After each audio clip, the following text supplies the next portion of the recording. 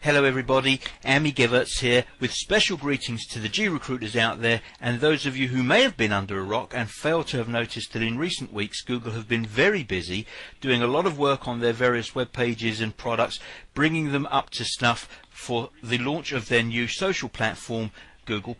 So if you hadn't noticed that there had been a dramatic change in the Google results page, then you may have overlooked the fact that in Google Calendar and Google Docs particularly, there's been a redesign, but also some of their products pages have been given the once over. And I know that many of you that like me have invested quite a bit of time and effort into repurposing your Gmail account as a resume database and applicant tracking system would like to know when we're going to get treated to a new look and feel. Well, for those of you that like me are impatient, we don't have to wait for Google much longer because in fact if you come here into your settings you'll notice in the themes there is a preview.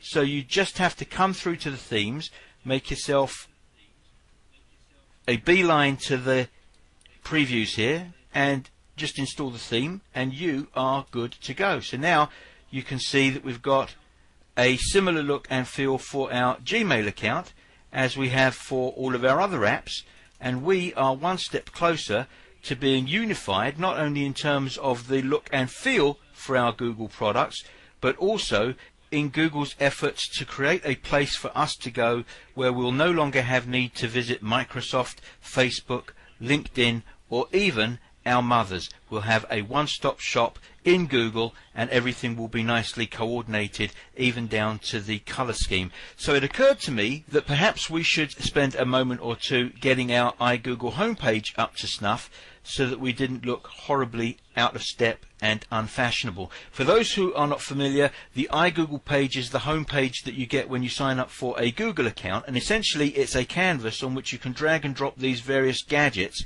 so that you can personalize your homepage. But what we have done as G recruiters is taken this one step further. So now this is somewhat of a command and control center, if you will, where we've got access to all of our various gadgets and gizmos that support our needs as recruiters. So here you can see we have a new theme for the dashboard page, and this is called Google Plus. On the lookups page, we are sporting a second Google Plus inspired theme. This is Google Circles. On the sourcing tab, I think more important than the theme are the numerous custom search engines which we've added and we are indebted to the numerous people that have contributed their custom search engines to this particular tab. If you're involved in any kind of research or sourcing for candidates you really do need to have this tab because there's a lot of really useful stuff here that's been designed by recruiters for recruiters and there's real value on this tab. Um, not so much with the Outlook folder. I'm not using Outlook, so perhaps I'm a little bit jaded there. But if you are using Outlook, then you can certainly get your files and contacts, your calendar items, and what have you with the Outlook tab. And here we've got a Chrome theme. On the Videos tab, where we've added quite a number of new tutorials, we have another G Plus theme. And then on the Extras tab, we've got something rounding it off which um, I've called Googleicious. So let me show you how you can get these yourselves, and it really is pretty straightforward. All you'll need to do is to have your Google account and go to your iGoogle page. I've got a second account which I've just created here so that I can show you. So let me get rid of this splash page. And the first thing I'm going to do is come over to the Brown Bag Recruiter site. So if you find your way to the front page, on the sidebar you'll see a link there for files and downloads and that will take you to the G Recruiters page. And here you can see we've got a link to the G Recruiters items. So let's just go ahead and click on that.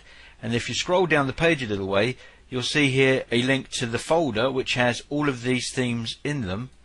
But if you want you can just download any one of these save it to your desktop. And then all we need to do is come back into our iGoogle page and load that up. So let me get rid of this. Let me open up the tabs so just come down here to the edit this tab option, scroll down to the bottom there and browse for the file you just downloaded and go ahead and upload that. And now you should be good to go.